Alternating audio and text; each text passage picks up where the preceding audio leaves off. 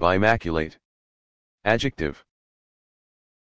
One having two spots or similar marks.